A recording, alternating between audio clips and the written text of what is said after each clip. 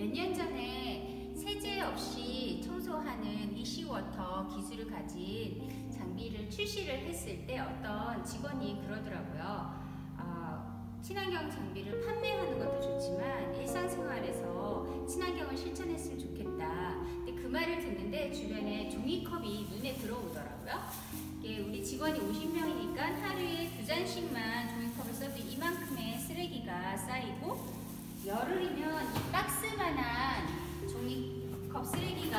나오게 돼 있고 1년이면 이거 25박스가 나오거든요. 마음이 되게 불편하더라고요.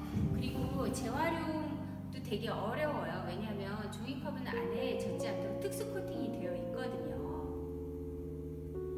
어, 이렇게 해마다 비- 어, 슬로건이 약간씩 바뀌기도 하고 또 새로운 직원이 들어오기도 하고 아무리 잘 씻어도 1년 정도 지나면 바꿔주는 게 개인 위생에 좋다고 하더라고요.